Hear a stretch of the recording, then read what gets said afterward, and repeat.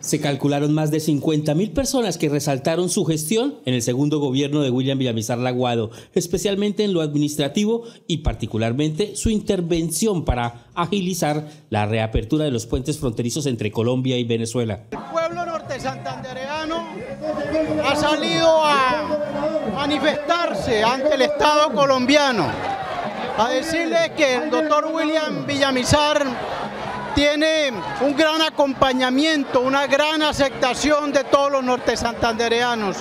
Apeteósica, impresionante, nunca había visto una manifestación de tanto respaldo a una persona como William Villamizar. Aquí queda demostrado que la gente cucuteña, la gente del norte de Santander quiere a William Villamizar.